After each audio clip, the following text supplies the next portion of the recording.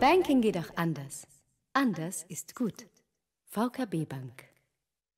Sehr geehrte Damen und Herren, herzlich willkommen zum VKB Bank Wirtschaftsgespräch hier am Regionalspartag 2020.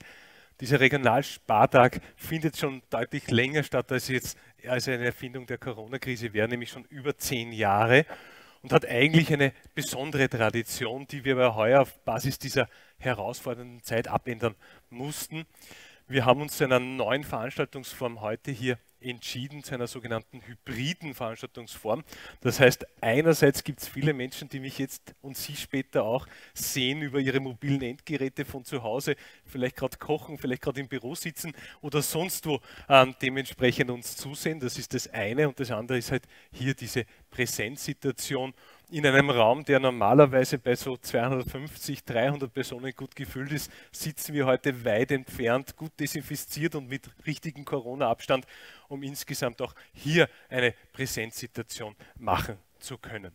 Also herzlich willkommen zu diesem VKB Bank Wirtschaftsgespräch. Wir wollen heute, Sie haben es der Einladung entnommen, über Achtsamkeit, über Mut, über auch die Frage des Weitblicks sprechen. Und wir haben uns so im Vorfeld für diese heutige Veranstaltung gedacht, es wäre doch wichtig zu sehen, einerseits diese Krisensituation, die Schäden einmal einzuordnen, auf der anderen Seite zu sagen, was können wir schon aus den letzten Monaten lernen und vor allem auch Ausblick geben, Weitblick geben, um insgesamt vielleicht auch mit Zuversicht, und das ist ja ein wichtiger Punkt, in die nächsten Monate gehen zu können. Und dazu haben wir verschiedenste Vertreter aus dem unterschiedlichsten Spektrum der oberösterreichischen Gesellschaft eingeladen. Wir haben Vertreter hier aus dem Bereich der äh, Kirche, wir haben Vertreter aus dem Bereich der Wirtschaft, aus der Wissenschaft, viele Unternehmer, die auch hier sitzen und natürlich auch aus der Politik. Und die darf ich vielleicht gleich zu Beginn begrüßen. Darf einmal natürlich noch einmal alle Zuseher, die uns über Videostream verfolgen, insgesamt nochmal herzlich begrüßen, also alle Zuseherinnen und Zuseher darf natürlich alle Unternehmerinnen und Unternehmer, alle VKB Bank Kunden und Kundinnen hier herzlich begrüßen und darf aber beginnen, vielleicht auch jetzt gerade in dieser Phase besonderes Zeichen mit unserem Diözesanbischof Dr. Manfred Scheuer. Herzlich willkommen, ein herzliches Grüß Gott. Danke für Ihre Teilnahme heute.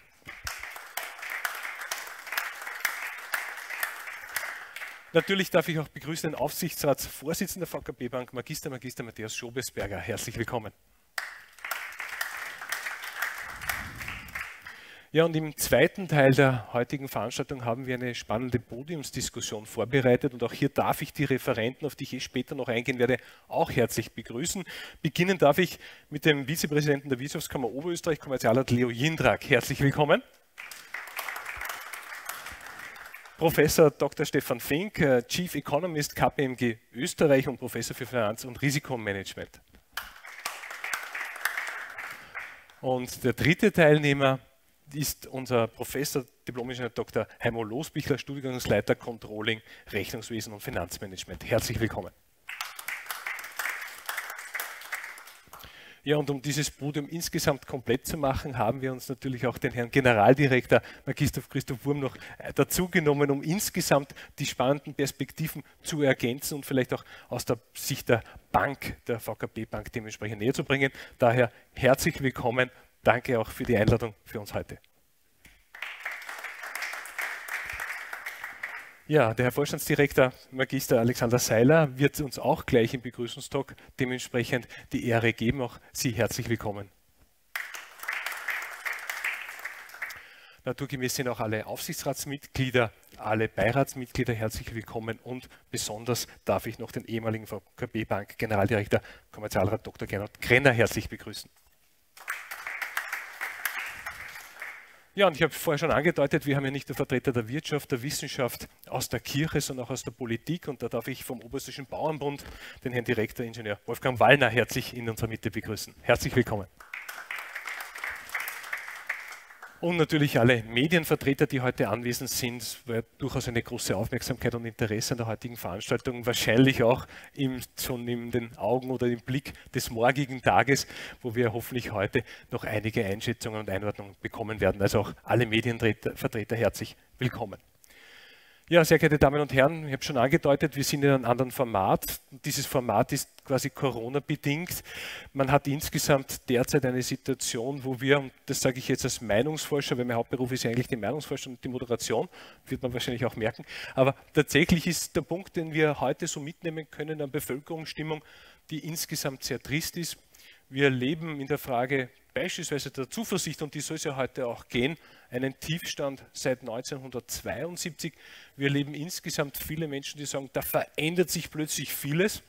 Und als gelernte Österreicher wissen wir ja auch, dass viele sich die Verbesserung wünschen, aber eben nicht die Veränderung.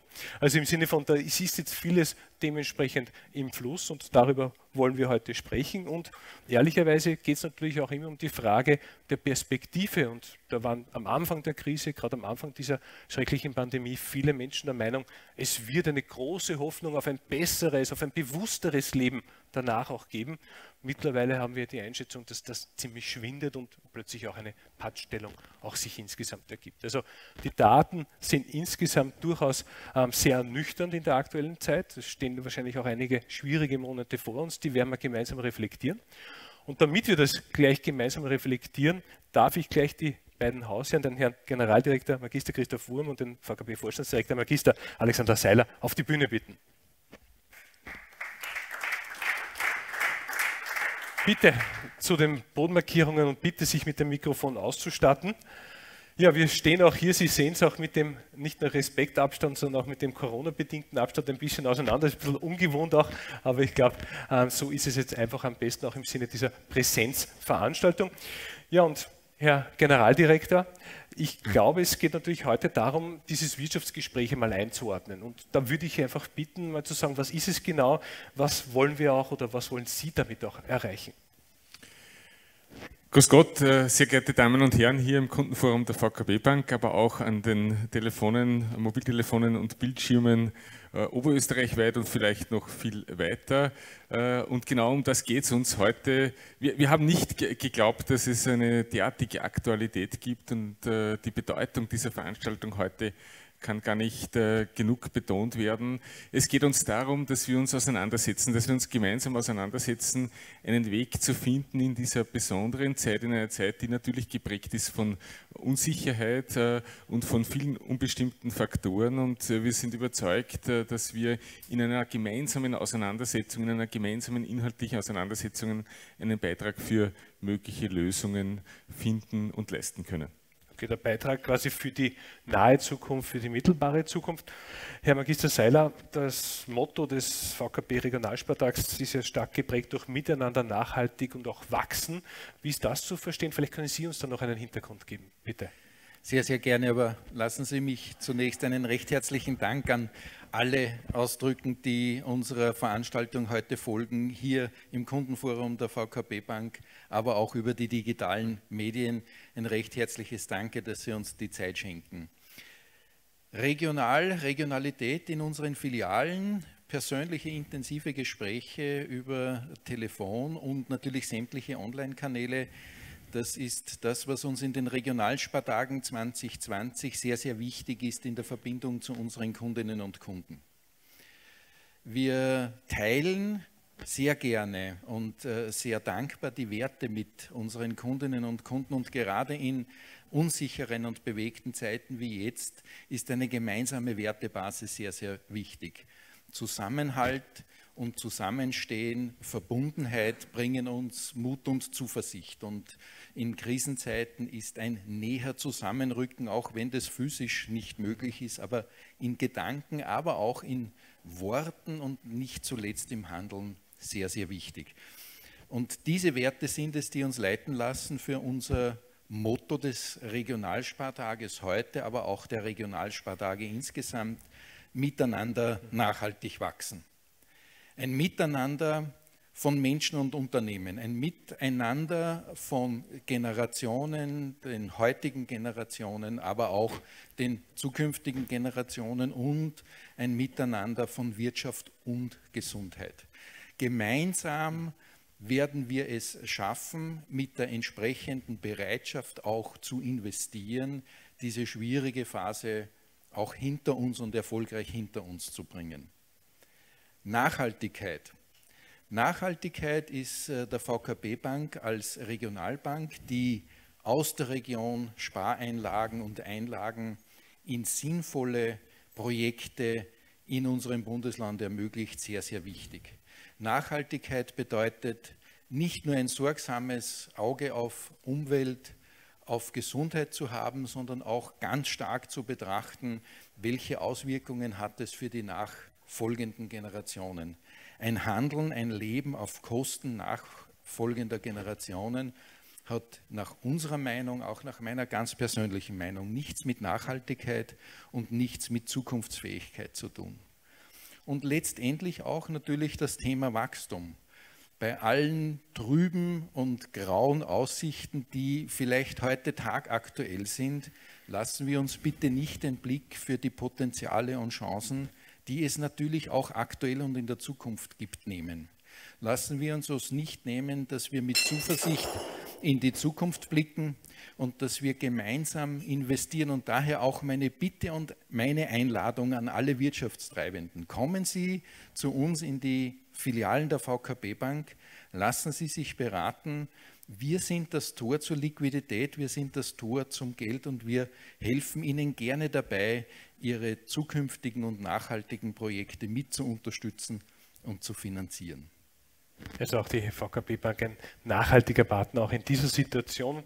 Ja, Herr Generaldirektor, ich habe es schon vorher angedeutet, dieser Regionalspartag, den gibt es nicht erst, seitdem alle dieses Wort Regionalität erfunden oder gesucht haben und da jetzt auch sehr strapazieren. Gibt es ja schon deutlich länger. Was gibt es da für einen Hintergrund oder warum sind diese Werte Nachhaltigkeit und Regionalität für eine Regionalbank so zentral? Weil es für uns darum geht, diese ganz besondere äh, lebenswerte Region Oberösterreich äh, zu unterstützen, Verantwortung dafür zu übernehmen und gemeinsam miteinander nachhaltig in Oberösterreich zu wachsen. Den Wachstum braucht es zur Weiterentwicklung und das Gemeinsame braucht es, dass alle zusammenhelfen, das Beste daraus zu machen. Und ich möchte gleich eine Lanze dafür brechen und einen Einstieg dann in Diskussion zu schaffen. Wir haben eine Herausforderung, die global ist. Es geht also meines Erachtens auch darum, global zu denken. Äh, und es geht darum, bestehende Organisationen, die äh, global arbeiten, auch gemeinsam zu nutzen, in Europa zusammenzuhalten, die Europäische Union, die Europäische Gemeinschaft dafür zu nutzen, das Beste daraus zu machen, aber dann äh, aus der Verantwortung heraus in unserer Region Oberösterreich bestmöglich umzusetzen und das auch zu leben. Okay, das heißt global denken und regional wachsen. Herzlichen Dank, Generaldirektor. Wir sehen uns gleich wieder. Ich darf wieder bitten, die Plätze einzunehmen. Herzlichen Dank für diese erste Talkrunde.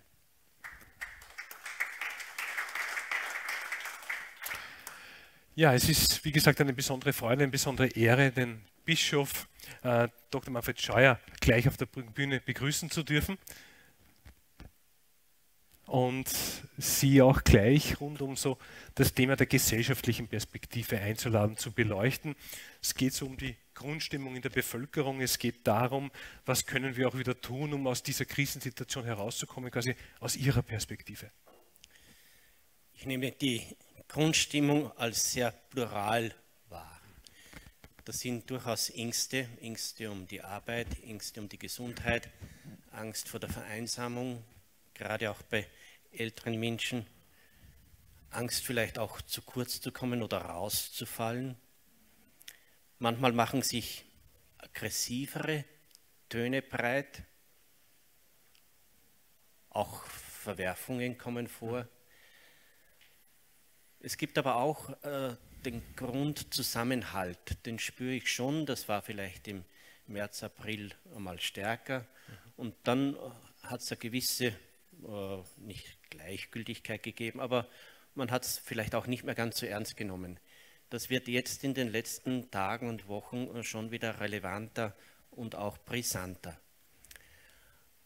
Es gibt das Schauen aufeinander, aber auch durchaus fast die Verletzung, ich habe mich jetzt so angestrengt und jetzt darf ich das nicht mehr tun. Oder das Gefühl, verwundbar zu sein, mhm. äh, miteinander verwoben zu sein im Guten und auch im Schlechten, auch abhängig zu sein.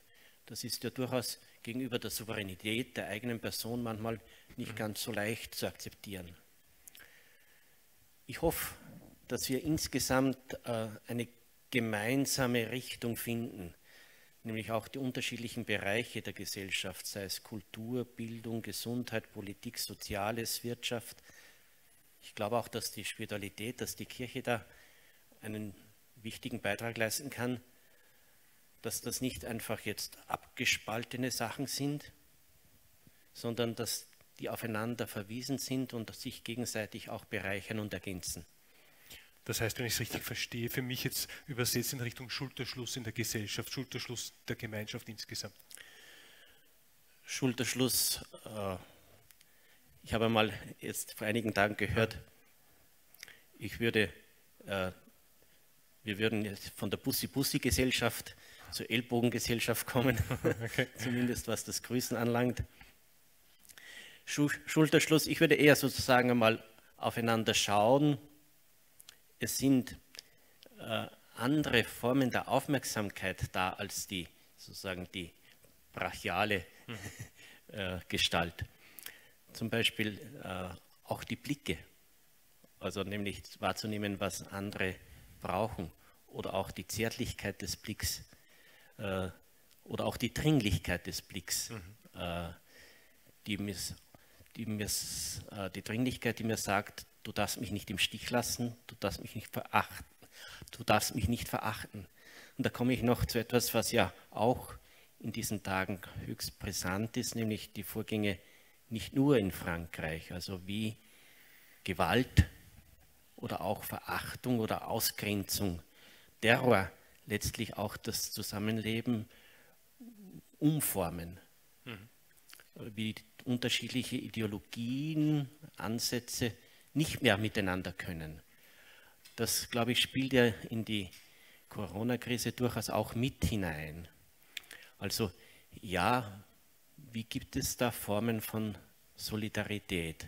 Wie gibt es auch Formen vielleicht des Aushaltens von Gegensätzen, ohne die mit Gewalt oder Verachtung zu bewältigen? Das sehe ich schon als große Herausforderung an. Das wäre quasi auch der Appell des heutigen Vormittags, Mittags. Vielleicht, Herr, Herr Bischof, noch einen Aspekt. Wir werden ja nachher sprechen mit der Wissenschaft, mit der Wirtschaft, mit Unternehmen, wo es ja auch darum geht, wie schafft man da eine neue Balance zwischen den Dingen, die sich da jetzt in der Krise entstehen, die, die menschlichen Situationen auf der anderen Seite aber trotzdem Notwendigkeit, dass das wirtschaftliche Leben ja am Laufen bleiben muss, im weitesten oder im engeren Sinn. Ähm, wie sehen Sie da, was könnte da für ein Anreiz oder für ein Signal auch an die Gesellschaft gehen?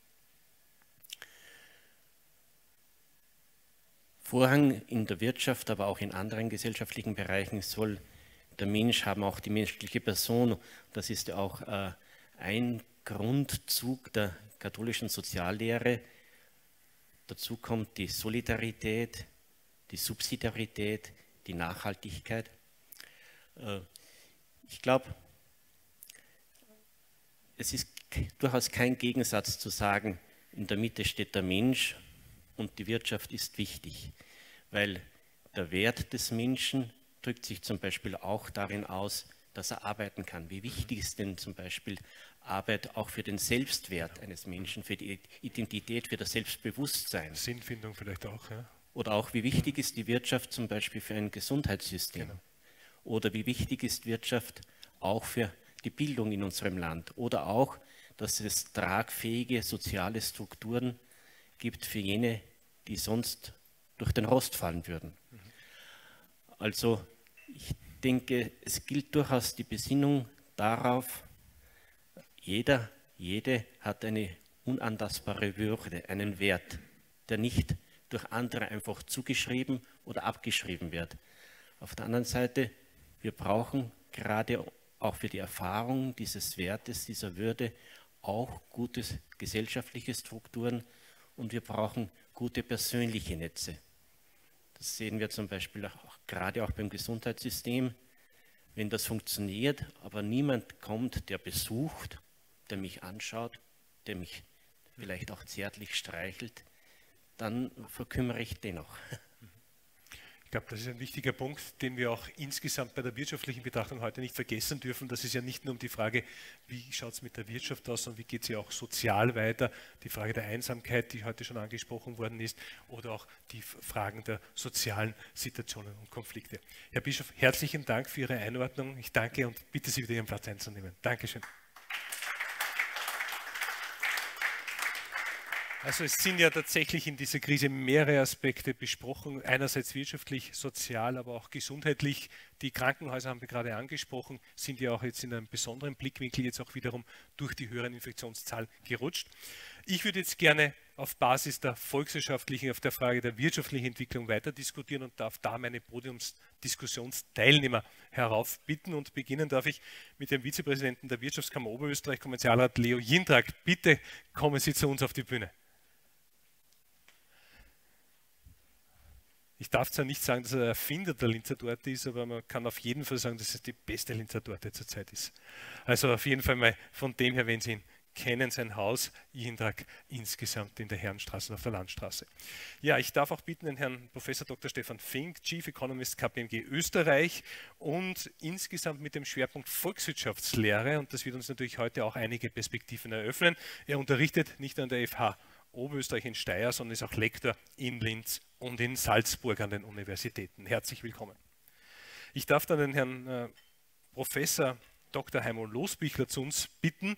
Er ist Studiengangsleiter Controlling, Rechnungswesen und Finanzmanagement an der FH Oberösterreich in Steyr, zeitgleich auch noch Vorstandsvorsitzender der internationalen Controller eines internationalen Controllervereins, was ich gelesen habe, auf der anderen Seite auch von internationalen Vereinigungen. Herzlich willkommen. Und ich darf bitten, den Herrn Generaldirektor, den Hausherrn, den Gastgeber, äh, Magister Christoph Wurm, zu uns heraufzukommen.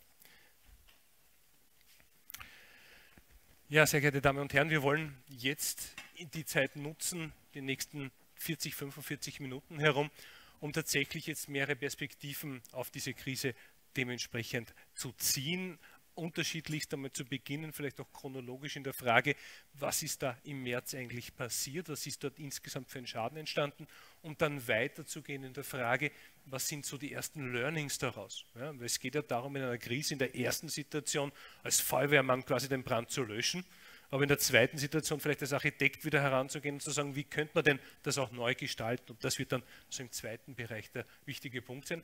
Und der dritte der Generaldirektor hat es ja heute schon erwähnt, wir könnten ja fast gar nicht aktueller sein. Also könnten noch morgen mittags vielleicht noch dementsprechend diese Veranstaltung machen. Also auch in Wahrheit den Ausblick zu wagen, was wird denn da vielleicht morgen beschlossen, was wird denn das auch bedeuten, nämlich jetzt insgesamt für die Dimension bis zum nächsten Osterfest, wenn wir das jetzt überlegen. Sie wissen, die Zeitspanne Ostern war im ersten Lockdown ein spannender Punkt. Jetzt ist die Frage dunkle Monate, die auf uns zukommen, dunkle Wochen. Und da ist die Frage, in welche Richtung geht es dann auch, wenn es wieder eine positive Perspektive gibt. Ja, und Sie sehen, wir sitzen auch weit genug Corona-gerecht auseinander, wollen aber die Gedanken jetzt baumeln lassen. Und da darf ich vielleicht mit Ihnen, Herr Vizepräsident, beginnen. Ähm, die oberösterreichische Wirtschaft gilt ja als exportorientiert insgesamt halten sie sich um eine globale Krise, was wahrscheinlich das nicht gerade befördert. Wir haben auf der anderen Seite eine große Struktur von Klein- und Mittelbetrieben, vieles im Bereich Handel und auch im Tourismus. So eine erste Einschätzung, wie, was ist da seit März passiert, wie ist da der aktuelle Stand? Ja, danke einmal, herzlich willkommen und danke für die Einladung, dass ich da sein darf. Ja, ich möchte es vielleicht ein bisschen verbinden, einerseits als Vizepräsident, andererseits als Unternehmer, der das hautnah mitgespürt hat. Wir haben damals im März den Lockdown alle erlebt. Ich glaube, man braucht nicht mehr darüber reden. Aber es war, und wenn ich gefragt werde heute, wie war das, ich habe das immer empfunden und das sage ich auch dazu wie in einem Science-Fiction-Film. Ich bin in, in das Geschäft gefahren, wo wir heruntergefahren sind. Wir haben auch fünf Wochen komplett geschlossen gehabt es waren keine Leute auf der Straße, es war alles da, es waren Lebensmittel noch da und wir haben gesagt, wie geht es weiter? Und es ist viel passiert seitdem. Es hat zuerst geheißen, eine, zwei Wochen, dann ist das Ganze auf fünf Wochen, dann auf acht Wochen für die Gastronomie. Und ja, und wenn wir heute schauen, wir haben viele, wenn man jetzt da schaut, am Konjunkturthermometer, es gibt minimal und maximal. Wir haben viele äh, Maximale, die wirklich gute Geschäfte gemacht haben in dieser Zeit, die die Auftragsbücher wirklich zum Bersten voll haben.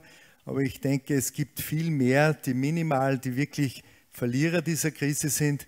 Und an diese müssen wir jetzt denken. Wir reden jetzt noch nicht, was jetzt morgen verkündet wird, weil das machen wir im Anschluss noch. Genau. Aber, aber ich denke, gerade äh, viele Branchen, ob es kleine KMU, EPU, KMU, aber auch Großbetriebe sind, exportbedingt und so weiter, wenn ich an die Automobilbranche denke oder Zulieferfirmen. Also es hat viele massiv getroffen, aber wir haben geschaut, dass wir was tun und da haben wir viel getan, aber da werden wir auch noch dazu kommen. Mhm. Aber wie gesagt, es war und es ist immer noch ganz anders. Es hat sich vieles verändert. Und wir können jetzt nur schauen, sowohl als Wirtschaftskammer etwas zu tun, als Funktionäre, die Leute bei Laune zu halten und selbst nicht äh, die Nerven wegzuschmeißen, sage ich mal meine, ein Aspekt, den wir im Vorfeld kurz angesprochen haben, Sie haben berichtet, dass Sie auch im Lockdown dann einmal die Möglichkeit gehabt hätten, Ihr Geschäft zu eröffnen, aber es dann nicht getan haben. Vielleicht kurz dann eine Perspektive, dass, egal was uns jetzt morgen erwartet, und wir wollen auch später darüber sprechen, aber nur so aus dem heraus, was Frequenz bedeutet, was Einkaufsstraßen bedeuten, wenn eben die Leute wie im Science-Fiction-Film fehlen. Ja, das Wichtigste war sicherlich, und das ist ich glaube, allen Unternehmerinnen und Unternehmern bewusst geworden in dieser Phase jetzt mit Corona, man muss viel mehr rechnen wie vorher.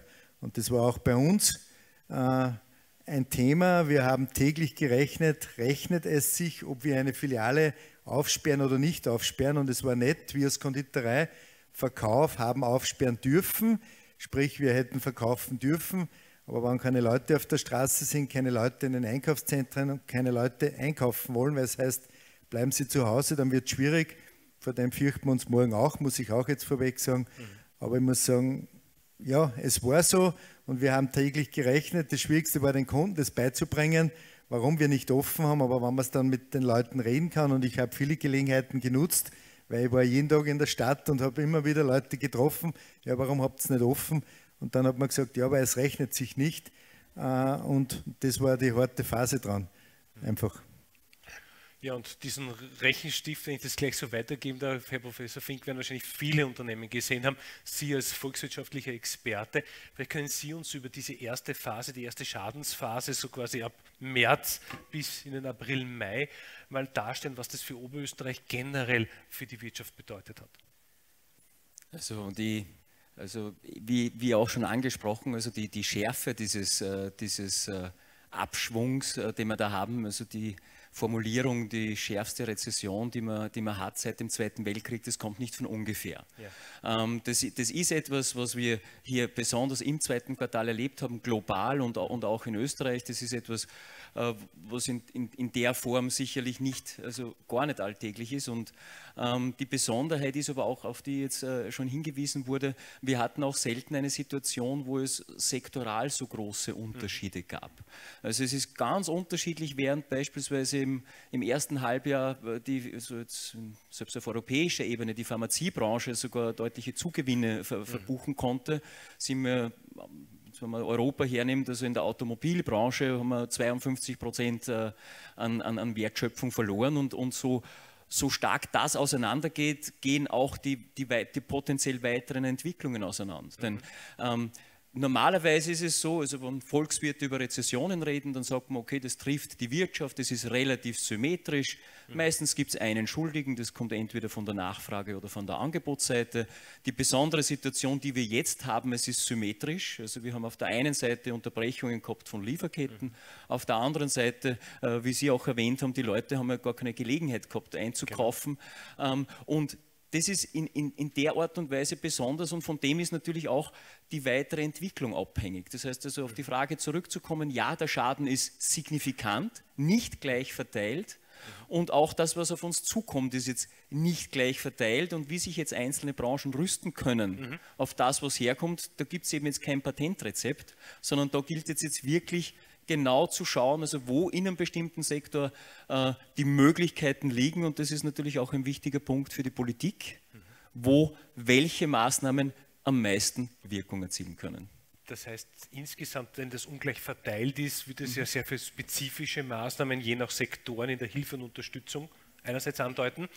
Und auf der anderen Seite gibt es ja durchaus Stimmen, und da würde mich Ihre Expertise sehr interessieren, die ja sagt, dass diese Krise ja Entwicklungen, die sie schon davor gegeben hat, noch einmal verstärkt. Also beispielsweise Automobilbranche haben Sie angedeutet, war wahrscheinlich jetzt schon 2019 im Dezember jetzt nicht die ganz sicherste Variante auf Basis einer Situation der, des Dieselskandals, der Frage der, der Bedeutung des Klimawandels und, und vieler andere Aspekte.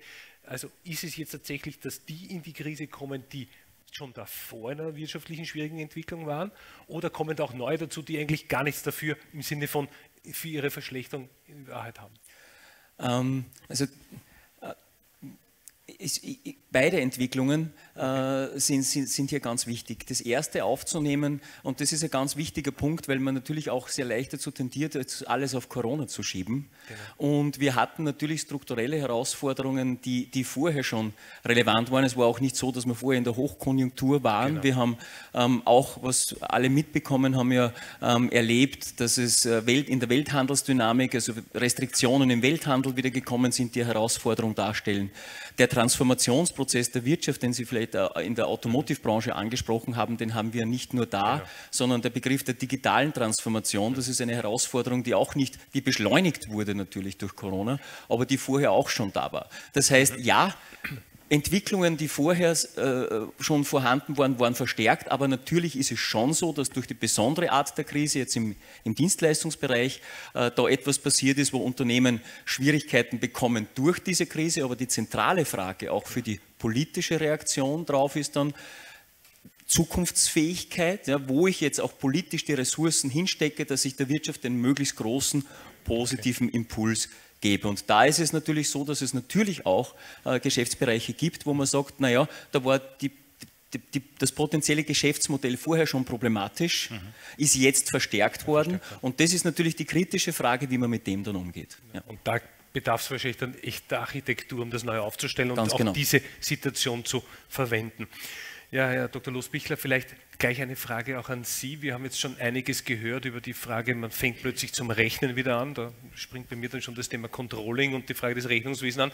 Das heißt, wenn Sie jetzt aus der Perspektive nicht auf der Makroebene quasi der volkswirtschaftlichen Zusammenhänge, sondern ein bisschen uns einsteigen lassen im Unternehmen an sich. Sie gelten ja auch als krisenerprobt in vielen Bereichen. Also was sind da so die, die, die Learnings jetzt direkt schon aus dem Unternehmen? Was haben da die Unternehmen bislang schon gerechnet? Das ist eine breite Frage. Ich versuche es ein wenig äh, zu beantworten, wobei es schwierig ist mhm. zu verallgemeinern, ja. entsprechend der Krise. Aber was wir, glaube ich, schon gesehen haben, und es wird teilweise angesprochen vom Stefan Fink, üblicherweise ist in einer Krise, dass man sagt, von der Absatz bricht ein oder irgendwie meine Produkte sind nicht mehr äh, en vogue und ich spüre die Krise und das ist ein schleichender Prozess. Also in einer strategischen Krise, in einer Ergebniskrise, irgendwann dann in einer Liquiditätskrise rein.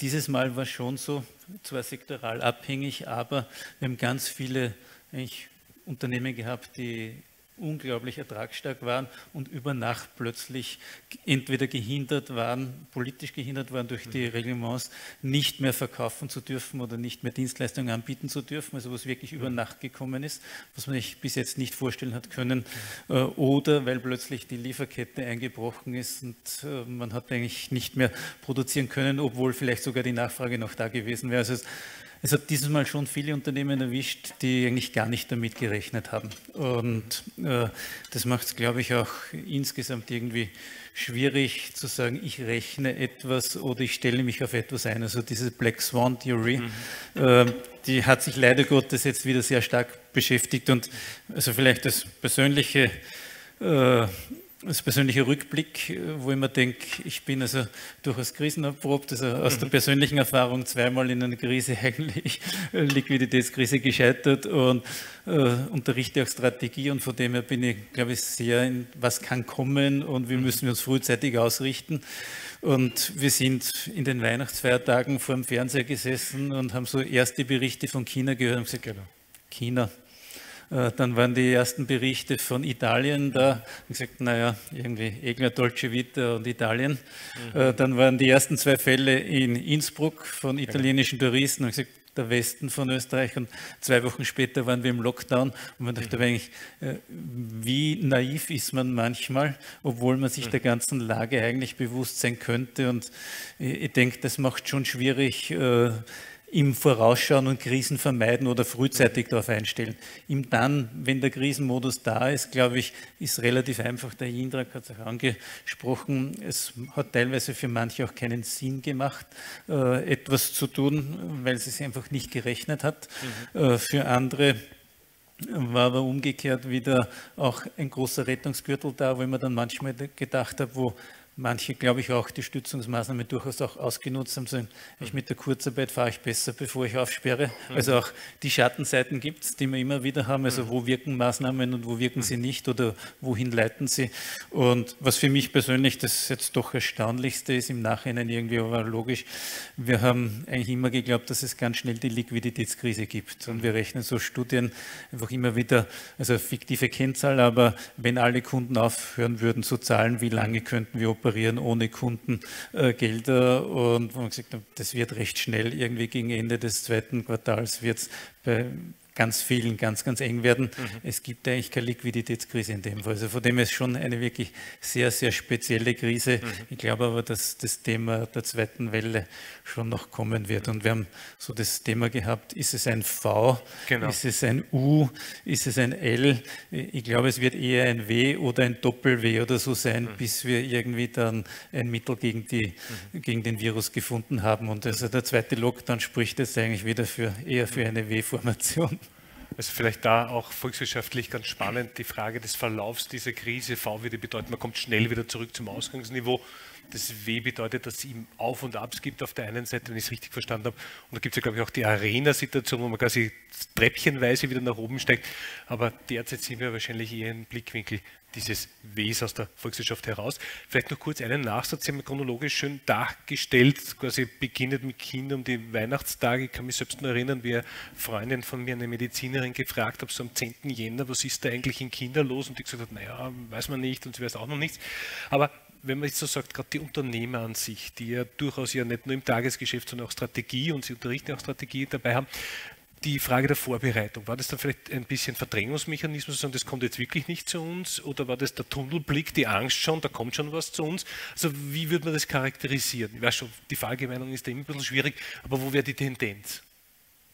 Ich glaube schon, dass es ein Unterschätzen war, was okay. wir gehabt haben. Also bei mir persönlich, mhm. äh, ich habe mir das angeschaut und okay, das könnte kommen, aber irgendwie habe ich es dann nicht so gesehen, wie es wirklich gekommen ist, obwohl ich mich damit beschäftigt habe. Und mhm. äh, ist wahrscheinlich gar weniger das Negieren, man will es mhm. nicht wahrhaben, als irgendwie das doch das Unterschätzen, wie schnell es gehen kann und in welcher Dimension es gehen kann. Wobei man fairerweise auch sagen muss, äh, und das ist vielleicht, wenn man jetzt nur in den Rückblick schaut, finde ich schon eigentlich ein ein einmaliges Zeichen, was wir gemacht haben, um die Schwächsten der Gesellschaft zu schützen, mhm. haben wir eigentlich die gesamte Wirtschaft runtergefahren. Also hätte es den Lockdown nicht gegeben, äh, hätte die Krise sich ganz anders entwickelt. Wie immer sie sich mhm. entwickelt hat, kann man es nicht genau sagen, aber durch die Maßnahmen war plötzlich der Konsum unterbunden und damit ist das ganz schnell ins Rollen gekommen, einer Dimension, mhm. die wir vielleicht so nicht gesehen haben. Wir werden dazu auch noch später kommen, gerade wenn es um die Frage des nächsten vermeintlichen Lockdowns kommt. Aber Generaldirektor, vielleicht können Sie uns auch noch mitnehmen in der Zeitreise in den Februar, in den März zu Beginn dieser Krisensituation. Was gab es da für Rückmeldungen der Kunden? Wir haben schon gehört, Liquidität ist das eine Thema, das ist dann nicht so eingetreten, wie es manche vielleicht auch eingeschätzt hätten. Aber was waren da so die ersten ersten Reaktionen, mit welchen Dingen hat sich dann auch hier die VKB Bank gleich direkt beschäftigen müssen?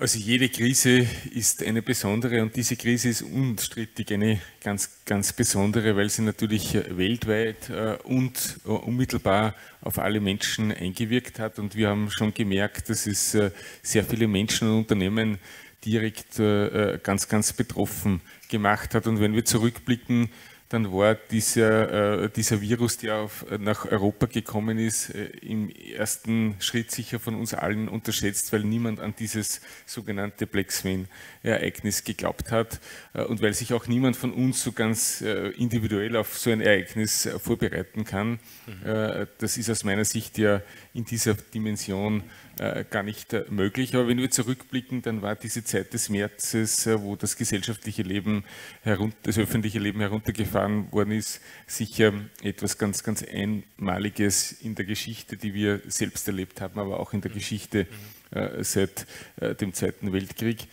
Unsere Aufgabe war es zunächst, ein Teil des, der Versorgungseinrichtungen zu sein, nämlich offen zu haben, mit unseren Kunden in Verbindung zu bleiben. Ähm, das war die Grundaufgabe, okay. Ähm, Finanzdienstleistungen äh, äh, weiterhin zur Verfügung zu stellen, dafür zu sorgen, dass der Geldkreislauf einmal mhm. intakt bleibt, dass wir aber auch mit unseren Kunden ähm, über die Filialen, aber vor allem auch über, über Telefon und digital in Verbindung bleiben und damit die Möglichkeit schaffen, dass zumindest das Mindestausmaß äh, von Wirtschaft weiter funktioniert und wir auch dafür einstehen, als Versorgungsunternehmen äh, genau das zu leisten, wofür wir da sind. Das war so der erste ganz wesentliche äh, äh, Grundauftrag. Das zweite war dann schon angesprochen, natürlich dafür Sorge zu tragen, dass wir Liquidität sichern, auch ein Grundauftrag von Banken. Wir haben dann mit unseren Kunden gemeinsam natürlich darauf geschaut, wo ist es notwendig, etwas zu schieben, also Stundungen einzuräumen und wo ist es notwendig, Zusatzfinanzierung zur Verfügung zu stellen. Die Republik Österreich hatte eine Reihe von Programmen äh, äh, ermöglicht und innerhalb dieser Programme haben wir unter anderem 47 Millionen an äh, Überbrückungskrediten zur Verfügung gestellt. Das ist doch ein ganz großer äh, Betrag, ähm, ähm, als, als Teil davon einfach dafür so, zu sorgen, dass die Liquidität zu den Unternehmen kommt. Ähm, was wir dann festgestellt haben, wir, wir sind auch davon ausgegangen, dass die Liquidität knapper wird. Wir haben festgestellt, dass wir zwar die Liquidität eingeräumt haben, aber nur die Hälfte davon in etwa äh, abgerufen wurde. Mhm. Und wir haben auch damit gerechnet, dass unsere Kontokrentkredite ähm, enger ausgenützt werden. Auch das ist nicht eingetreten. Äh, das war für uns überraschend. Mhm. Ähm, also das Positive ist, es ist ausreichend Liquidität im Markt. Mhm. Ähm, also es ist gelungen, diese Zeit äh, zu überbrücken. Äh, das ist mhm. wesentlich. Okay. Aber, und das ist das Entscheidende, wir blicken ja nicht nur über einen Monat oder zwei Monate oder drei Monate, sondern wir haben jetzt viele, viele Monate und das wird, und das wird äh, der zweite Teil unserer Diskussion sicher genau. herausarbeiten, was können wir jetzt tun, äh, um die Zukunft äh, gut zu bewältigen. Also die erste Aufgabe war, mhm. äh, Geldversorgung sicherzustellen. Die zweite Aufgabe war, mit unseren Kunden in Verbindung zu bleiben. Die dritte Aufgabe, Liquidität zu sichern. Und jetzt geht es äh, darum, wieder einen Zukunftsblick zu schaffen und darauf zu schauen, wie können wir gemeinsam Investitionen möglich machen, wie können wir gemeinsam Weiterentwicklung möglich machen. Und generell, bevor ich dann gleich an die Wirtschaftskammer und dann den Leo Jindrak weitergebe und in Frage, wie es so mit den Maßnahmen gestanden ist und welche Maßnahmen sich jetzt besonders auch in dieser ersten Phase ausgezahlt haben, vielleicht kurz der Blick aus dem Bankenbereich. Und die VKB Bank hat natürlich unterschiedlichste Kundengruppen, unterschiedlichste Unternehmerinnen und Unternehmer. Wie war da so der Blick? Was war das, was wirklich jetzt ganz schnell und rasch in dieser Krisensituation auch den Unternehmen geholfen hat? Also was war da vom Bund, vom Land, von den Städten dementsprechend das, wo du sagen würdest, das wäre etwas Besonderes gewesen? Aus meiner Sicht sind es immer drei Themen, die wesentlich okay. sind, äh, nämlich mit, mit gemeinsamer Zusammenarbeit dafür äh, zu sorgen, dass die unmittelbaren Probleme behoben werden. Mhm. Betrieb aufrechterhalten, Lieferketten sicherstellen. Das ist ja so das Erste. Mhm. Das Zweite ist natürlich, ausreichend Liquidität zu haben. Für jedes Unternehmen ist es unmittelbar äh, erforderlich, äh, liquide zu bleiben. Mhm. Ähm, da war es sicher günstig, auch von der Republik diese Überbrückungskredite zur Verfügung zu stellen. Und das Dritte war jene Unternehmen, und es hat vor allem kleinere und mittlere Unternehmen ganz besonders getroffen, insbesondere aus der Dienstleistungsbranche, äh, diesen Unternehmen zu helfen, im Markt zu bleiben. Also mit äh, besonderen Töpfen dafür okay. zu sorgen, dass der Umsatzrückgang in einer bestimmten Art und Weise abgefedert wird. Herzlichen Dank, Herr Vizepräsident. Ich würde gerne diese erste Runde abschließen, so mit diesem perspektivisch, was waren die wirtschaftlichen Maßnahmen von Bund und Land, von der Kurzarbeit, vielen, vielen anderen Punkten. Was würden Sie so einschätzen, war da das Wichtigste? Wie haben die auch geholfen? Und es gab ja hin und wieder auch die Kritik, das kommt vielleicht nicht so schnell an, nicht so rasch an. Äh, wie ist da die Einschätzung seitens der Wirtschaftskammer? Ja, das Wichtigste war sicherlich einmal zuerst der Härtefallfonds, wo die Wirtschaftskammer auch viele Tiefschläge einstecken hat müssen. Die Wirtschaftskammer hat das übernommen. Dann war sicherlich die Kurzarbeit. Jeder Unternehmer ist vor der Entscheidung gestanden, kündigt ihr alle Leute oder geht in das Modell Kurzarbeit. Äh, ich kann nur sagen, aus der Praxis äh, und auch meine Mitarbeiterinnen und Mitarbeiter haben sich gefreut. Wir haben keinen einzigen gekündigt und ich kenne Betriebe, die haben Mitarbeiter gekündigt und wollten es dann mit Wiedereinstellung und wie es dann soweit war zum Aufsperren, haben sie keine mehr bekommen, weil die alle was anderes gesucht haben. Also das vergessen die Mitarbeiterinnen und Mitarbeiter nicht. Äh, ja, was, was war noch wichtig? Der Fixkostenzuschuss, der zwar jetzt anläuft und der zum Glück auch jetzt ausbezahlt wird, weil es war immer das Problem, es hat vieles die Regierung gesetzt, Schritte gesetzt und es ist irgendwann einmal gekommen. Da hat es nur nächstes Jahr erst, wenn die Bilanz gelegt wird und so weiter bei den Fixkosten, wo es wirklich ins Eingemachte gegangen ist mit, wenn ich jetzt sage aus unserer Sicht, mit Rohstoffen, die weggeschmissen worden sind, weil sie einfach nicht verarbeitet worden sind, oder die Mieten oder bei anderen, wenn ich an, an Modehäuser denke, an Kollektionen, die einfach nicht verkauft worden sind und nicht mehr up-to-date sind. Äh, also da hat es schon viele Maßnahmen gegeben. Mhm. Oder wenn ich denke an den Lehrlingsbonus, den wir jetzt gesetzt haben, dass die Betriebe Lehrlinge aufnehmen, die 2000 Euro, die jeder bekommt, oder, oder, oder. Es hat viele Maßnahmen gegeben, aber ein Punkt, der ganz wichtig ist, und das streiche ich immer heraus, das sind unser, das Kapital, das wir haben, unsere Mitarbeiterinnen und Mitarbeiter, die voll zu mir als Unternehmer gestanden sind, so wie ich zu ihnen. Und genauso in der Wirtschaftskammer die Mitarbeiterinnen und Mitarbeiter, die wir gehabt haben, die viel einstecken müssen, aber die wirklich bis heute noch einen super Job machen und in dem möchte ich auch Danke sagen in dieser Runde.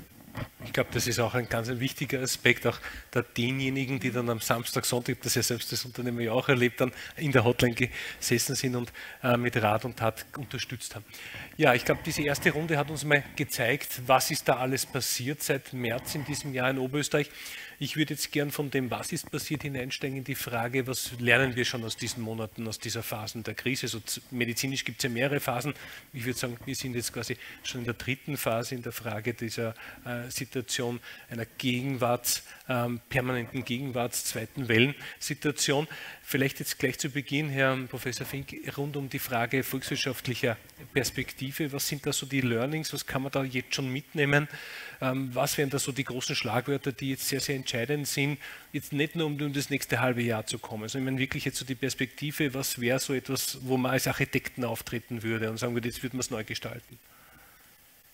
Also wenn man das wirklich aus der Architekturperspektive betrachtet, was in dem Zusammenhang sehr wichtig ist, ist, wenn man die, die Punkte auch aufnimmt, die wir in der ersten Runde angesprochen haben, ja, die Besonderheiten dieser Krise, dass es sowohl Angebots- als auch nachfrageseitig de facto einen symmetrischen Schock äh, gegeben hat. Das ist das, Erste, was perspektivisch wichtig ist, oder den, der zentrale Begriff, den ich als Überschrift vielleicht drüber schreibe, ist Balance. Ja, wir mhm. müssen Balance finden aus Maßnahmen, die einerseits einmal dafür sorgen, dass Kaufkraft bleibt, also im Konsum mit Abstand die größte Teil der, der, österreichischen Wirtschaftsleistung kommt aus dem Privatkonsum und da sind zwei Dinge wichtig. Erstens, man muss ja dafür schauen, dass ausreichend Geld da ist, das ausgegeben werden kann. Mhm. Ja, das heißt also, Kurzarbeit beispielsweise ist ein ganz wesentlicher Punkt, der hier Kaufkraft erhaltend natürlich gewirkt hat.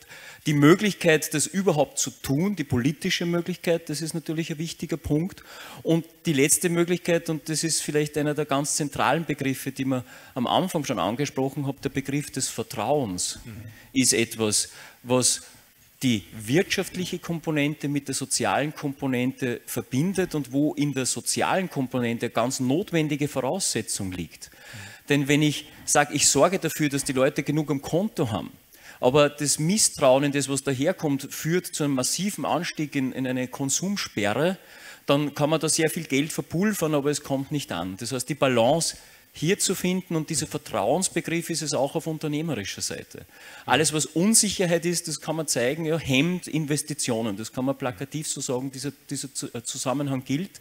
Und auch da, also was wichtig ist, einfach um da rauszukommen, auch einen gewissen und auch wenn die Nachricht nicht positiv ist, einen gewissen Plan zu schaffen, in der ganzen Unsicherheit Stabilität mitzugeben, wo die angesprochenen Maßnahmen äh, natürlich helfen. Und der zweite Balancebegriff ist auch der, zwischen kurz- und langfristigen Maßnahmen zu unterscheiden. Also was jetzt einmal kurzfristig ganz wichtig war und ist, sind einmal diese Maßnahmen, wo man jetzt ganz intensiv reingreifen, wo wir Kaufkraft erhalten, mit Kurzarbeit, mhm. mit Zuschüssen, mit Moratorien, das ist wichtig, aber gleichzeitig auch die längerfristige Perspektive nicht aus dem Blick zu verlieren, was mache ich für den Standort längerfristig. Also Wachstumsfonds beispielsweise, diese strukturellen Überlegungen, auch da muss sich eine Balance finden, weil nur das eine oder nur das andere nicht reicht. Und ähm, ich muss ganz einfach eine Botschaft mitgeben, es ist schwierig, in so einem volatilen Umfeld Vertrauen zu binden, aber all das, was ich tun kann, durch ein entsprechendes Umfeld, durch politische Maßnahmen und durch Kommunikation, ist ein, ein, ganz, ganz zentraler Punkt, wirklich auch strategisch, nicht nur jetzt die nächsten Monate, sondern auch darüber hinaus navigieren zu können. Das heißt, das Krisenmanagement ist, ist natürlich hauptsächlich auch Kommunikation. Sie haben von einer Balance gesprochen und dann von einem Bereich des Vertrauens. Und da würde ich Sie gerne, Herr Professor Losbichler, eher fragen, nachdem Sie auch ein, ein, ein wissenschaftlicher Vertreter oder ein, der wissenschaftliche Vertreter auch hier am Podium sind, eine Situation, die sich ja viele stellen in der Frage, mittlerweile sehen wir in allen TV-Shows Wissenschaftler, meistens Virologen, meistens Personen, die sich tatsächlich bislang eher in den Universitäten aufgehalten haben, plötzlich einer breiten Öffentlichkeit vorgestellt werden. Und vor kurzem habe ich auf YouTube ein Video gesehen von einer ganz spannenden deutschen Chemikerin, die insgesamt versucht, populärwissenschaftlich Dinge näher zu bringen. Und die hat das Dilemma der Wissenschaft näher dargestellt und die hat gesagt, das Problem ist derzeit von den vielen Wissenschaftlern, die jetzt überall auftreten und versuchen, auch die Krise und auch die Pandemie zu erklären, dass sie dieses Wort erklären aber nicht dieses So-Wort im Sinne von, was wäre jetzt die Ableitung daraus. Jetzt meine Frage auch an Sie, ist das quasi auch ein falsches Verständnis von Wissenschaft teilweise? Weil oft hört man ja auch, das sind nur noch Wissenschaftler, nur noch Experten entscheiden und die Politik soll sich dann raushalten. Äh, wie würden Sie das aus Ihrem Blickwinkel heraussehen? Also persönlich glaube ich, dass wir glücklich sein können, dass die Wissenschaftler gibt und dass ja. sie sich bemühen, äh, ihren Beitrag zu leisten für die richtigen Maßnahmen. Im Rückblick ist man dann immer gescheiter und es kann man diskutieren, wäre die eine Maßnahme dann doch besser gewesen als die andere und war der eine oder der andere Forecast auch richtig. Also ich denke gerade so an die ersten Hochrechnungen vor dem Lockdown, mhm. Äh, die waren glaube ich doch relativ weit weg von dem, was dann gekommen wäre. Aber ich glaube, es bemühen sich im Moment wirklich sehr, sehr viele, irgendwie einen konstruktiven Beitrag zu leisten. Ich glaube, die Problematik ist dann, dann das Übersetzen so, dass wirklich jeder versteht, äh, was vielleicht das Wichtigste wäre, weil wie es wirklich wird, weiß keiner. Also egal wie wissenschaftlich man ist und von dem her geht es, glaube ich, nur mit plakativen Beispielen und bei diesen plakativen Beispielen, glaube ich, ist ganz wichtig, dass man vor allem auf die Stimmung auch nochmal Rücksicht nimmt. Also, du hast das vorher angesprochen. Äh, wir haben nichts davon, wenn Geld da wäre und es wird nicht ausgegeben oder wenn die Leute alle sagen, ich tue nichts mehr und dann ist es der selbstgewählte Lockdown, den wir plötzlich herbeiführen. Und da gibt es, glaube ich, schon eine Verantwortung der Wissenschaft, was sage ich genau. und wie sage ich es. Das ist ja auch vielleicht der Punkt, auf den ich hinaus wollte, so quasi dieses Spannungsfeld, falsches Verständnis auch von Wissenschaft zu haben. Also im Sinne von nicht diesen kritischen Rationalismus zu sagen, ist wie der wissenschaftliche Ergebnis auch überholt. Es kann ja auch überholt werden. Es wird ja natürlich jeden Tag was Neues belegt. Wir hatten ja gerade zu Beginn der Krise so viel Wissen über unser Unwissen. Und andererseits wieder die Erwartungshaltung, teilweise auch aus der Politik, zu sagen, die verändern immer ihre Meinung oder umgekehrt, da gibt es die falsche Expertise. Das heißt, gibt es da so etwas, was auch ein Learning sein aus der Krise sein kann, dass wir ein neues Verständnis für wissenschaftliche Prozesse brauchen? Brauchen und dass wir vielleicht auch insgesamt hier in der Frage des Verhältnisses Politik und Wissenschaft eine neue Bestimmung, eine neue Ausrichtung brauchen? Das Verhältnis traue ich mir weniger beurteilen. Okay. Ich bin, bin, kein Politiker, ähm, aber für die Wissenschaft, glaube ich, hat es selten solche Anlässe gegeben, die gezeigt haben, wie wenig wir eigentlich wissen. Sie haben es angesprochen und äh, man darf sich nicht so gut sein als Wissenschaftler sagen, ich weiß es selbst nicht. Oder aus allen Überlegungen könnte es in die oder die Richtung gehen. Und man darf sich, glaube ich, auch nicht so gut sein zu sagen, ich habe jetzt gelernt und ich habe es vorher anders gesehen, aber mhm. das ist mit der Krise, wir haben vorher die Besonderheiten der Krise angesprochen. Mhm. Ich glaube, es gibt keinen, der irgendwie exakte Prognosen machen genau. kann, äh, egal ob es jetzt virologisch ist oder ob es äh, wirtschaftlich ist. Wir lernen alle an der Krise und da steht es, glaube ich, den Wissenschaftlern gut, entsprechend bescheiden zu sein und halt, äh, ihren Beitrag zu leisten, wo man sagt, das kann ich leisten mit meinem Wissen, das ich heute habe. Aber das macht ja das Krisenmanagement, wenn ich so sogar ganz äh, auch wertschätzend Sie als Zahlmensch bezeichnen darf, ja besonders schwierig, wenn man sagen kann, die Grundlage dieser Daten sind ja auch schon oft schwierig beziehungsweise auch schwierig einzuschätzen, oder? Definitiv. Und also, ich habe es vorher gesagt, wir haben ganz fix mit der Liquiditätskrise gerechnet genau. und sie ist gar nicht gekommen. Ja. Und wir analysieren jetzt, woran ist es gelegen. Äh, wenn ein Teil mögen die Stützungsmaßnahmen gewesen mhm. sein, aber das erklärt nicht alles. Und also von dem her, das werden wir aufarbeiten und dann haben wir halt wieder einen Erkenntnisstand für die nächste Krise, die auch kommen wird. Aber also ich glaube, man muss an Wissenschaftler realistische Erwartung haben genau. und umgekehrt müssen die Wissenschaftler auch sich genau. selbst entsprechend einordnen können glaube, das ist ganz ein wichtiger Punkt in dieser Diskussion. Ja, Herr Generaldirektor, vielleicht auch noch aus Ihrer Perspektive so diese Trends, Learnings, Entwicklungen, gerade was Oberösterreich betrifft, auch dieses Wirtschaftsleben. Was wären da so die, die wichtigsten Punkte, die wir jetzt schon mitnehmen könnten in der Vorbereitung? Ja, die nächste Krise kommt ja sicher, also im Sinne von auch da schon mitzunehmen. Also das Wichtigste bleibt und ist äh, das ständige Lernen äh, aus meiner Sicht, äh, nämlich in der Hinsicht, dass ähm, Leben immer Lernen ist und Lernen immer Leben ist. Es geht also aus meiner Sicht darum, genau jetzt wieder daraus zu lernen und das geht nur mit strukturierter und fundierter Arbeit, mhm. also ständig daran zu arbeiten und damit auch im Gespräch zu bleiben, gesprächsfähig zu bleiben mit anderen und mit anderen zusammenzuarbeiten äh, und in dieser Zusammenarbeit die Kraft und Freude zu schöpfen, auch Zuversicht zu haben. Und was wir ganz sicher lernen, ist, äh, dass Vielfalt immer stabiler ist und lebensfähiger als Einfalt. Also die Vielfalt als wichtiges Credo auch aus dieser Krise. Viele bezeichnen ja auch das Thema Anpassungsfähigkeit, also sich auch den neuen Umständen dementsprechend anzudeuten. Und ich möchte vielleicht auch mit diesem, diesem zweiten Teil beschließen und vielleicht gleich in den dritten Punkt gehen und da den Herrn Vizepräsidenten auch nochmal bitten, vielleicht auch am nächsten dran von uns allen, jetzt auch in Richtung Bundesregierung, was da morgen vielleicht auch noch alles erzählt wird. Vielleicht war da schon der heiße Draht zur Frau Präsidentin Doris Hummer und da vielleicht schon noch weiter. Ähm, wir stehen natürlich Aktualität vor morgen einer gewissen Weichenstellung ich habe gestern oder vorgestern im Spiegel gelesen, es ist ja das Paradoxon der Gegenwart. Einerseits ist das, was wir am stärksten verhindern wollen, das, was uns am meisten hilft in dieser Krisensituation, also der Lockdown. Äh, also fast wie es weniger ist mehr, auch das wäre so ähnlich. Also in dem Fall, was kommt da morgen auf uns zu, beziehungsweise was bedeutet das auch für die oberösterreichische Wirtschaft? Ich denke jetzt nur an das Weihnachtsgeschäft im Handel, ich denke jetzt nur an die Frage der Gastronomie, die ja schon vielleicht jetzt einen besseren Sommer erlebt haben, aber tatsächlich noch einmal zurückfallen werden. Ähm, was bedeutet das jetzt, was morgen rauskommt, wenn man so ein bisschen in Szenarien denkt? Gut, ich bin nicht der Bundeskanzler, aber wir sind gestern, seit gestern laufen die Telefone heiß und ich war heute schon mit meiner Präsidentin telefoniert. Äh, ja, man muss sagen, es läuft ja jetzt sehr gut, dank Investitionsprämie und, und, und. Äh, die ganzen Maßnahmen, die getroffen worden sind, das waren alle sehr optimistisch.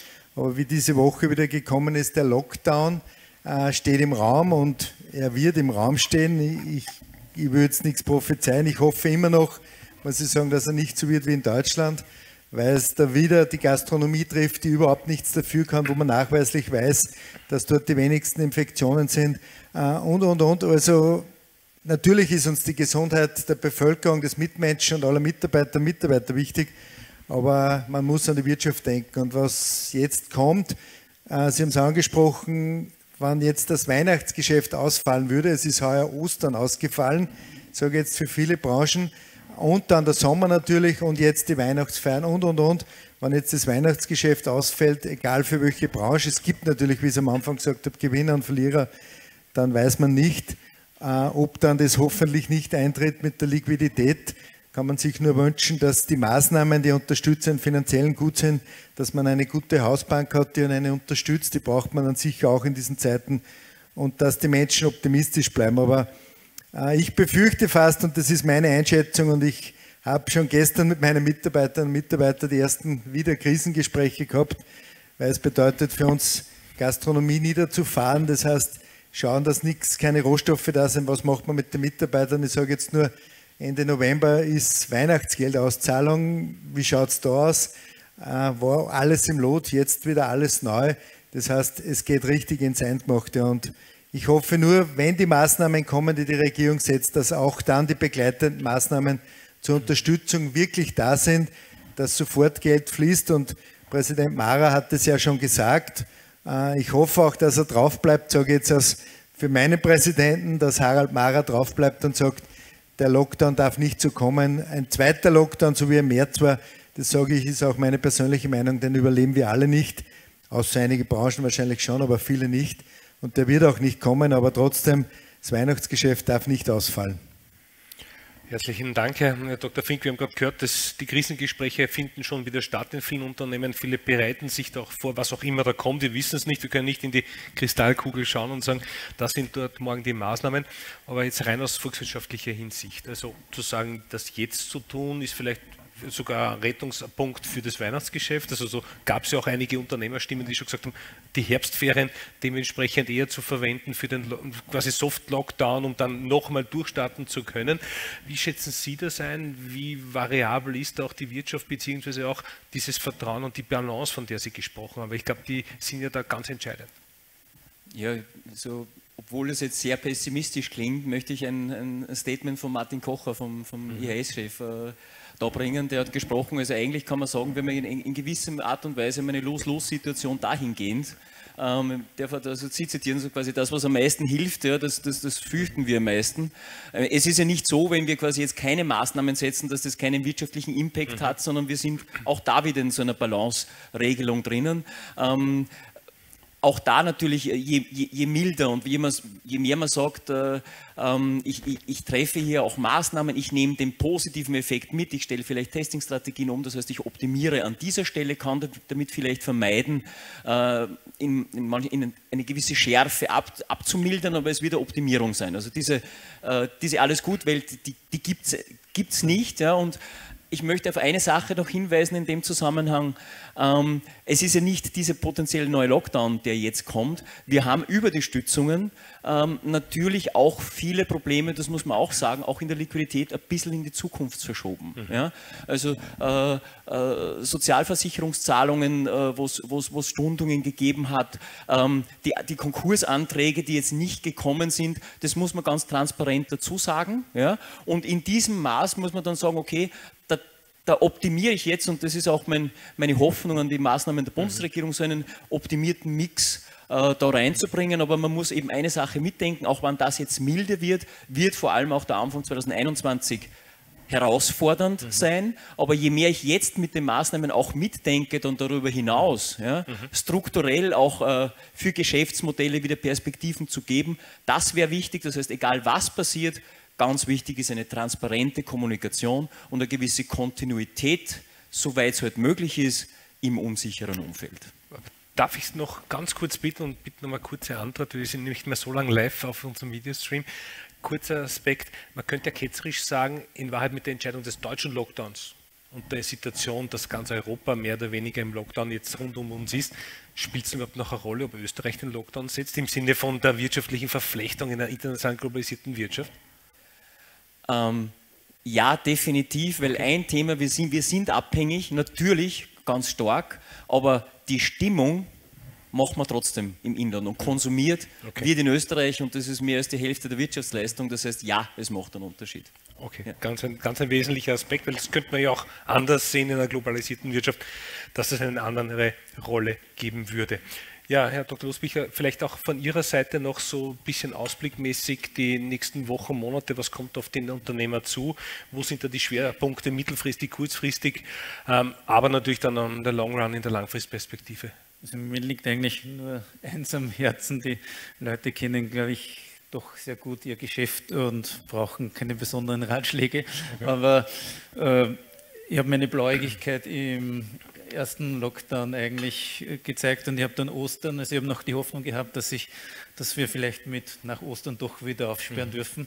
Ich habe in den Osterferien dann zu rechnen begonnen und gesagt, wenn also Exponentialfunktion darf nicht sein und Reproduktionsrate maximal 1, damit wir die Intensivbetten nicht überfordern, äh, dann heißt es irgendwie ein Plateau an äh, Kranken, die wir uns leisten können. Mhm. Und ich habe das dann einmal hochgerechnet mit von mir durchschnittlich 14 Tage äh, jetzt Krankheit, Covid und habe dann bis Herbst hochgerechnet. Ich bin halt dann also wirklich in der Hausrechnung mit dem Hausverstand auf irgendwie 2% Durchseuchung gekommen. Und ich habe für mich damals eigentlich im April gesagt, im Herbst wird nichts anders sein, als es jetzt ist. Und wenn wir uns wieder so verhalten wie vorher, wird auch nichts anders sein. Und mhm. das kann man jetzt, glaube ich, mitnehmen, für was wird kommen. Also bei allem, was jetzt wieder Soft-Lockdown oder was immer mhm. kommt, wir werden auch im Frühjahr dann bei einer Durchseuchung vielleicht bei 10% oder sein, also Herdenimmunität. Und wir können dann äh, ab dem Frühjahr wieder tun, wie wir wollen. Das wird sich nicht abspielen und werden mit dem Phänomen länger umgehen müssen. Und freilich werden wir besser verstehen, wie sich das Virus ausbreitet mhm. und irgendwann wird ein Medikament kommen, das vielleicht die Folgen abschwächt. Aber zu hoffen, jetzt über den schnellen Lockdown nochmal, egal ob das jetzt die, die mhm. Herbstferien nutzen oder die Weihnachtsferien, in Deutschland wird diskutiert, ob man dann 14 Tage nach den Weihnachtsferien die Schulen zulässt, damit nicht alle verseucht in die Schulen reingehen oder okay. so. Also das wird es nicht sein. Es wird uns länger begleiten und auf, ich glaube, auf das muss man sich einstellen und vor allem wahrscheinlich auf eine tagesaktuelle Einschätzung der Lage. Und die passiert ja, glaube ich, in vielen Unternehmen, in vielen Bereichen. Also herzlichen Dank auch für diese Runde. Vielleicht nur kurz zum Abschluss, weil Sie sind natürlich alle Vertreter auch im öffentlichen Leben und da ist vielleicht ganz interessant für Unternehmerinnen und Unternehmer, für Kundinnen und Kunden einfach zu hören, so wie Sie persönlich im Umgang mit dieser Krise sind. Es gibt manche Freunde von mir, die sagen, sie schlafen seitdem schlecht. Es gibt andere, die sagen, ich arbeite jetzt doppelt so viel, um einfach äh, was zu suchen. Andere haben sich ein neues Hobby geschaffen, um einfach ein bisschen auf andere Gedanken zu kommen. Im Vorfeld dieses Gesprächs haben wir davon gesprochen, man kommt gar nicht mehr zusammen, ohne über Corona äh, zu sprechen und darüber zu diskutieren. Und vielleicht darf ich, wenn Herr Dr. Fink, kurz beginnen, so Ihr persönliches Statement, was, wie, wie gehen Sie mit dieser Belastung, die es ja auf jeden Fall ist, die dieser besonderen herausfordernden, schwierigen Zeit auch persönlich um? Ja, ich, ich, möchte diesen Begriff der Balance vielleicht auch da äh, okay. anführen, weil was von Volkswirten grundsätzlich erwartet wird, ist eine relativ kompakte Einschätzung, ja, was steht uns bevor, um auch als Politikberater tätig zu sein und einmal zu sagen, okay, das steht uns bevor, wenn du das tust, wird höchstwahrscheinlich da passieren, das passieren. Wir haben im Frühjahr dann etwas erlebt, was noch nie da war, nämlich dass die Prognosen unglaublich auseinandergegangen sind. Es gibt zwar diesen Spruch, ähm, Prognosen sind unsicher, vor allem wenn sie die Zukunft betreffen, aber das war eine Situation, wo man dann teilweise auch an der eigenen Berufsehre gezweifelt hat, ja, wenn man sagt, okay, es kann das oder das passieren, ähm, man kann auch Dartpfeile werfen, also das persönliche Learning daraus ist, es macht trotzdem Sinn, sich in der ganzen Unsicherheit mit dem Thema auseinanderzusetzen, denn auch wenn man einen Unternehmer, der hier äh, beraten werden möchte, wenn man dem mitgibt, okay, das sind deine Szenarien, mehr kann ich da aktuell nicht sagen, aber selbst das zu wissen, mit ein bisschen Wahrscheinlichkeitsgewichtung ist besser als nichts zu wissen. Und mit dem einfach umgehen zu können, dass die Diskrepanz von, von den Schätzungen fast beliebig groß sind, da ist okay. einfach nicht die Lust zu verlieren. Ja? Also das Comeback der Wahrscheinlichkeitsrechnung. Ja, also Ganz genau. Okay, herzlichen Dank. Ja, Herr Jindrak, vielleicht Ihr persönliches Statement, wie gehen Sie damit um? Mehr Linzer Torte oder ist das? Nein, also was wir gelernt haben daraus ist, dass wir näher zusammenrücken müssen. Das okay. heißt, man braucht seine Freunde, man braucht sein Umfeld, man braucht die Familie, man hat viel Zeit, wir haben viel weniger Termine, aber man ist voll gefordert und ich glaube, jede Unternehmerin, jeder Unternehmer ist mehr gefordert wie vorher. Äh, ja, und ich glaube, man muss optimistisch bleiben und das sind wir. Ich kann gut schlafen noch. Ich habe, wie gesagt, schon tüchtige Mitarbeiter und Mitarbeiter. Aber eines, was wichtig ist, und das hat mir meine Frau verboten, mit manchen Leuten zu reden oder nicht mehr zu reden oder telefonieren, weil die auf, auf gut Deutsch gesagt, die nur mehr runterzahlen und die schwarz malen. Und da muss man extrem aufpassen, wenn man ein Gutmensch ist und wenn man positiv denkt, dass man nicht von solchen Leuten nach unten gezogen wird, die nur schwarz malen und die ja, das Schlimmste befürchten. Okay. Das gilt für uns Unternehmer auch in der Wirtschaft. Wir müssen nach vorne schauen. Und ich sage einmal, wir sind Unternehmer, wir müssen etwas unternehmen und nicht nur auf die Politik hoffen und auf Förderungen, sondern selbst die, das Ganze in die Hand nehmen. Und das ist mein Motto und das haben viele. Und darum werden wir auch diese Krise überstehen. Also auch der Mut zur Zuversicht und dem Optimismus insgesamt noch bewahren, auch wenn es noch so schwer fällt. Ja, Herr Dr. Losbicher, Herr Professor. Ja, ich glaube, es gibt bei mir zwei Dinge. Das eine ist, die Tagesarbeit ist wirklich mühsam. Ich bin im Krisenstab und mhm. normalerweise wenn man arbeitet, schafft man etwas und sagt, schau, das habe ich geschaffen. Jetzt weiß man ganz genau, okay, heute habe ich es geschaffen, morgen mache ich genau das Gleiche wieder, weil wieder eine neue Herausforderung mhm. kommt. Also wir haben heute Nachmittag Krisenstab, wir haben morgen Nachmittag Krisenstab oh, und wir machen das, was wir jetzt, glaube ich, schon 20 Mal gemacht haben. Das ist durchaus von der Arbeit ein wenig frustrierend. Umgekehrt bin ich trotzdem sehr positiv denkend und wenn man jetzt zurückblickt, die Finanzkrise, wo es Leute gegeben hat, die wirklich alles an Wertpapieren verkauft haben und sich einen Bauernhof oder was gekauft haben, weil sie gesagt haben, nur dann kann ich mich selbst versorgen, wenn die gesamte Wirtschaft zusammenbricht. Heute lachen wir irgendwie darüber und jetzt sagen wir, na, eigentlich Finanzkrise war eh harmlos im Vergleich zu Covid. Mhm. Äh, und wir werden okay. garantiert in zwei oder drei Jahren auch mit einem Schmunzeln zurückblicken auf die, auf die Krise jetzt, wo wir sagen, war mhm. das damals irgendwie hart und zäh, mhm. aber ich bin sicher, dass wir sie schaffen. Und ich glaube, wenn man sich in diese längerfristige Perspektive versetzt okay. und zumindest diese Zuversicht hat, dass es gut wird und die habe ich, dann ist alles, was so kurzfristig mühselig ist, auch ertragbar. Das heißt, die Krise braucht die Perspektive und das ist so quasi die langfristige, in der Hinsicht, da wird alles besser und man braucht auch den Vergleich zu anderen Zeiten. Danke für das Learning. Herr Generaldirektor, ich darf Sie gleich bitten, Ihr Learning, Ihr persönlicher Umgang mit der Krise? Ja, ich, ich, empfinde es als anstrengend, unstrittig, äh, aber es bleibt trotzdem konzentriert arbeiten, mit anderen im Gespräch bleiben, äh, gemeinsam etwas unternehmen, so wie heute, daraus zu lernen, ähm, raus in die Natur mhm. und, und deswegen und trotzdem oder gerade deswegen und trotzdem positiv und lebensfroh zu bleiben. Okay, wunderbar. Und ich glaube, den Ball nehme ich gleich auf und darf mich jetzt von den Zuseherinnen und Zusehern im Videostream verabschieden. Ist im Sinne von in die Natur zu gehen, ist, glaube ich, heute auch ein guter Punkt, im Sinne von einmal, auch nochmal zu entspannen und abzuschalten. Herr Generaldirektor, möchten Sie noch sich verabschieden bei den Zusehern und Zusehern im Videostream? Ja, alle, die, die, die in Oberösterreich sind und uns gemeinsam verfolgen, danke für das Vertrauen, danke für die Zusammenarbeit, danke fürs Dabeisein. Einen schönen Freitagnachmittag, ein schönes Wochenende. Auf ein Wiedersehen in der VKB Bank.